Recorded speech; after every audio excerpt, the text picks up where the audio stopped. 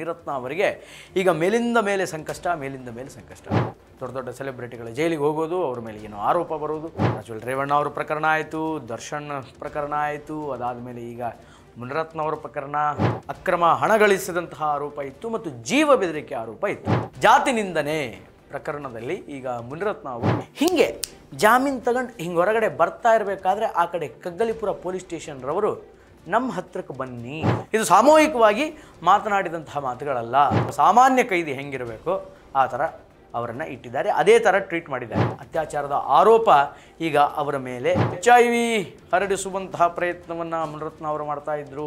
R R ನಗರ ಅಂದರೆ ಮುನಿರತ್ನ ಮುನಿರತ್ನ ಅಂದರೆ R R ನಗರ ಅನ್ನುವಂಥ ಹೆಸರಿತ್ತ. ನಮಸ್ಕಾರ ಸ್ಪೀಡ್ ನ್ಯೂಸ್ ಕನ್ನಡದ ವಿಶೇಷ ಕಾರ್ಯಕ್ರಮಕ್ಕೆ ಸ್ವಾಗತ. ನಾನು ಶ್ರೀನಿವಾಸ್ ವೈದ್ಯ. ನಮ್ಮ ವಿಡಿಯೋ ನಮ್ಮ ಕಂಟೆಂಟ್ಗಳು ನಿಮಗೆ ಇಷ್ಟ ಆಗ್ತಾ ಇದ್ರೆ ನಮ್ಮ ವಿಡಿಯೋನ ಲೈಕ್ ಮಾಡಿ ಶೇರ್ ಮಾಡಿ ಕಾಮೆಂಟ್ ಮಾಡಿ, ನಮ್ಮ ಚಾನಲ್ನ ಸಬ್ಸ್ಕ್ರೈಬ್ ಮಾಡಿ ಬೆಲ್ ಬಟನ್ ಕ್ಲಿಕ್ ಮಾಡೋದನ್ನು ಮಾತ್ರ ಮರಿಬೇಡಿ. ಆರ್ ಆರ್ ನಗರದ ಶಾಸಕರಾಗಿರುವಂತಹ ಮತ್ತು ಮಾಜಿ ಸಚಿವರಾದಂತಹ ಕರ್ನಾಟಕ ಸಿನಿಮಾ ರಂಗದ ನಿರ್ಮಾಪಕರಾದಂತಹ ಮುನಿರತ್ನ ಅವರಿಗೆ ಈಗ ಮೇಲಿಂದ ಮೇಲೆ ಸಂಕಷ್ಟ, ಮೇಲಿಂದ ಮೇಲೆ ಸಂಕಷ್ಟ. ಅದೇನೋ ಗೊತ್ತಿಲ್ಲಪ್ಪ ಕರ್ನಾಟಕದಲ್ಲಿ ಯಾಕೆ ಈ ಥರ ಘಟನೆಗಳಾಗ್ತಾ ಇದೆ ಅಂತ ಅರ್ಥನೇ ಆಗ್ತಾ ಇಲ್ಲ. ಪ್ರಜ್ವಲ್ ರೇವಣ್ಣ ಅವ್ರ ಪ್ರಕರಣ ಆಯಿತು, ದರ್ಶನ್ ಪ್ರಕರಣ ಆಯಿತು, ಅದಾದಮೇಲೆ ಈಗ ಮುನರತ್ನವ್ರ ಪ್ರಕರಣ, ಅದು ಬಿಟ್ಟರೆ ಗಣ, ಗಣೇಶ ವಿಸರ್ಜನೆ ವೇಳೆ ಗಲಭೆ. ಒಂದೂ ಶುಭ ಸುದ್ದಿ ಇಲ್ಲ. ಎಲ್ಲ ಈ ಥರದೇ ವಿಚಾರಗಳು. ದೊಡ್ಡ ದೊಡ್ಡ ಸೆಲೆಬ್ರಿಟಿಗಳ ಜೈಲಿಗೆ ಹೋಗೋದು, ಅವ್ರ ಮೇಲೆ ಏನೋ ಆರೋಪ ಬರೋದು, ಅವ್ರ ಜೈಲು ಪಾಲಾಗೋದು ಇನ್ವೆಸ್ಟಿಗೇಷನ್ನು ತನಿಖೆ. ಅವರೇನು ಮಾಡಿದರು, ಇವರೇನು ಮಾಡಿದರು, ರಾಜ್ಯಾದ್ಯಂತ ಬರೀ ಇದೇ ಸುದ್ದಿ.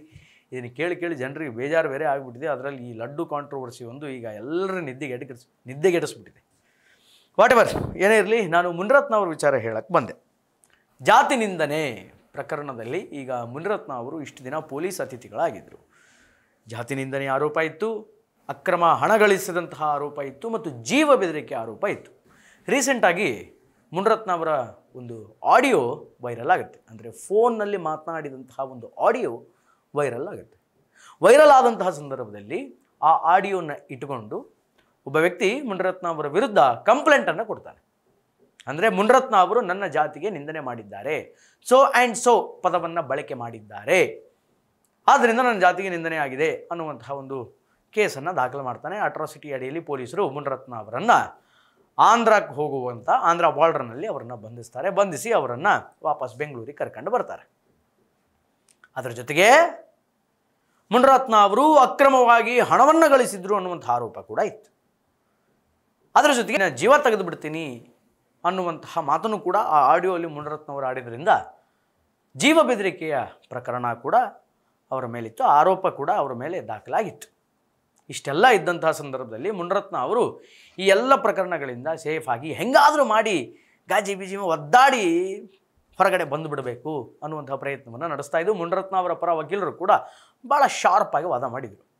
ಇಬ್ಬರು ವ್ಯಕ್ತಿಗಳಿಗಿಂತ ಮೂರನೇ ವ್ಯಕ್ತಿಯ ಮುಂದೆ ಅಥವಾ ಇಬ್ಬರು ವ್ಯಕ್ತಿಗಳಿಗಿಂತ ಜಾಸ್ತಿ ಜನರು ಇರುವಂತಹ ಪ್ರದೇಶದಲ್ಲಿ ಒಂದು ಜಾತಿಯನ್ನು ನಿಂದನೆ ಮಾಡಿದರೆ ಇಟ್ಸ್ ಕಮ್ ಅಂಡರ್ ಅಟ್ರಾಸಿಟಿ ಆದರೆ ಮುನ್ರತ್ನ ಅವರು ಫೋನಲ್ಲಿ ಮಾತಾಡ್ತಾ ಇರಬೇಕಾದ್ರೆ ಕಚೇರಿಯಲ್ಲಿ ಮಾತನಾಡಿದ್ದಾರೆ. ಅಂದರೆ ಈ ಫೋನ್ ಕಾಲ್ ಕಚೇರಿಯಲ್ಲಿ ಮಾತನಾಡಿದಂಥದ್ದು, ಇದು ಸಾಮೂಹಿಕವಾಗಿ ಮಾತನಾಡಿದಂತಹ ಮಾತುಗಳಲ್ಲ ಅನ್ನುವಂಥ ಪಾಯಿಂಟನ್ನು ಅವ್ರು ಹಾಕಿದ್ದಾರೆ.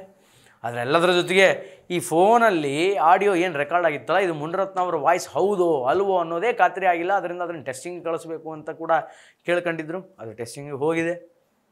ಇದರೆಲ್ಲ ಶತಕದಾಯ ಪ್ರಯತ್ನದ ಮಧ್ಯೆ ಜಾಮೀನನ್ನು ತೆಗೆದುಕೊಂಡು ಬರುವಂತಹ ಪ್ರಯತ್ನವನ್ನು ಮುನರತ್ನ ಪರ ವಕೀಲರು ಮಾಡಿದ್ರು. ಸಕ್ಸಸ್ಫುಲ್ ಆಗಿ ಜಾಮೀನು ತಗೊಂಡು ಬಂದೇ ಬಿಟ್ಟರ್ರಿ ಜಾಮೀನು ಸಿಕ್ಕೇ ಬಿಡ್ತು ಮುನರತ್ನ ಅವರಿಗೆ. ಇನ್ನೇನು ಮುನರತ್ನ ಅವರು ಆ್ಯಸ್ ಯೂಶುವಲ್ ಆಗಿ ಹೊರಗಡೆ ತಮ್ಮ ರಾಜಕೀಯ ಚಟುವಟಿಕೆಗಳಲ್ಲಿ ನಿರತರಾಗುತ್ತಾರೆ ಅನ್ನುವಷ್ಟರಲ್ಲಿ ಮತ್ತೊಂದು ಸಂಕಷ್ಟ, ಮತ್ತೊಂದು ಸಂಕಟ ಮುನರತ್ನ ಅವರಿಗೆ ಕಾದ್ಕೊಂಡು ಕೂತಿತ್ತು. ಅದು ಏನು ಅಂತಂದರೆ, ಹೀಗೆ ಜಾಮೀನು ತಗೊಂಡು ಹಿಂಗೆ ಹೊರಗಡೆ ಬರ್ತಾ ಇರಬೇಕಾದ್ರೆ ಆ ಕಡೆ ಕಗ್ಗಲಿಪುರ ಪೊಲೀಸ್ ಸ್ಟೇಷನ್ರವರು ನಮ್ಮ ಹತ್ರಕ್ಕೆ ಬನ್ನಿ ಅಂತ ಹೇಳಿ ಮುನರತ್ನ ಅವರನ್ನು ಕರ್ಕೊಂಡು ಹೋದರು.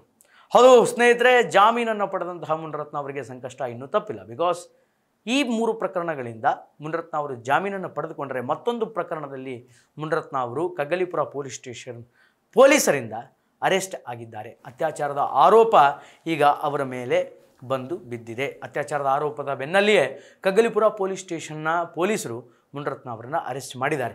ಅರೆಸ್ಟ್ ಮಾಡಿ ಕಗ್ಗಲಿಪುರ ಪೊಲೀಸ್ ಸ್ಟೇಷನ್ನಲ್ಲಿ ಒಬ್ಬ ಸಾಮಾನ್ಯ ಕೈದಿ ಹೆಂಗಿರಬೇಕು, ಆ ಥರ ಅವರನ್ನು ಇಟ್ಟಿದ್ದಾರೆ. ಅದೇ ಥರ ಟ್ರೀಟ್ ಮಾಡಿದ್ದಾರೆ. ಒಂದು ಸಣ್ಣ ದಿಂಬು ಹದಕಳಕ್ಕೆ ಒಂದು ಹೊದಿಕೆ ಕೊಟ್ಟುಬಿಟ್ಟು ಅಲ್ಲೇ ಮಲಗಿಸಿದ್ದಾರೆ. ಅದಾದಮೇಲೆ ಕಗ್ಗಲಿಪುರದ ಪೊಲೀಸರು ವೈದ್ಯಕೀಯ ಪರೀಕ್ಷೆಯನ್ನು ಕೂಡ ಮುನರತ್ನ ಅವರಿಗೆ ಮಾಡಿದ್ದಾರೆ. ವೈದ್ಯಕೀಯ ಎಲ್ಲ ಪರೀಕ್ಷೆಗಳು ಆದ ಮೇಲೆ ಮುನರತ್ನ ಅವರನ್ನು ಮತ್ತೆ ಕರ್ಕೊಂಬಂದು ವಾಪಸ್ ಸ್ಟೇಷನಲ್ಲಿ ಕೂಡಿಸಿದ್ದಾರೆ. ತಡರಾತ್ರಿ ಜಡ್ಜ್ ನಿವಾಸಕ್ಕೆ ಕರ್ಕೊಂಡು ಹೋಗುವಂತಹ ಕೆಲಸ ಕೂಡ ಆಯಿತು ಅನ್ನುವಂಥದ್ದು ಕೇಳಿ ಬಂತು. ಅದಾದಮೇಲೆ ಅಲ್ಲಿ ಅಲ್ಲಿ ಹೋಗಿ ಅಲ್ಲಿ ಮಾತಾಡಿ ಮತ್ತು ಆಮೇಲೆ ಅವ್ರನ್ನ ಸ್ಟೇಷನಿಗೆ ಕರ್ಕೊಂಬಂದು ಇನ್ನಷ್ಟು ಸುದೀರ್ಘವಾದಂತಹ ತನಿಖೆಯನ್ನು ಮಾಡ್ತಾರೆ. ಯಾಕೆ ಬೇಕಿತ್ತು ಶಾಸಕರಿಗೆ ಅಂತ? ಬೇಕಾದಂಗೆ ದುಡ್ಡು ಗಳಿಸಿದ್ರ? ಶಾಸಕ ಸ್ಥಾನ ಇತ್ತ? ಏನು ಬೇಕದು ಮಾಡ್ಬೋದಿತ್ತು? ನಿಮ್ಮನ್ನೇ ನಂಬಿದಂತಹ ಜನ ಇದ್ರ?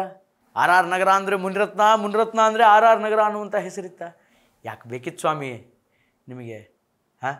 ಇನ್ನು ಹೆಚ್ ಐ ವಿ ಹರಡಿಸುವಂತಹ ಪ್ರಯತ್ನವನ್ನು ಮುನಿರತ್ನ ಅವರು ಮಾಡ್ತಾಯಿದ್ರು ಅನ್ನುವಂತಹ ಒಂದಿಷ್ಟು ಆರೋಪಗಳು ಕೂಡ ಕೇಳಿ ಬರ್ತಾ ಇದೆ. ಹನಿ ಟ್ರ್ಯಾಪಿನ ಹೆಸರಿನಲ್ಲೂ ಕೂಡ ಮುನಿರತ್ನ ಅವರ ಹೆಸರು ಕೇಳಿ ಬರ್ತಾ ಇದೆ.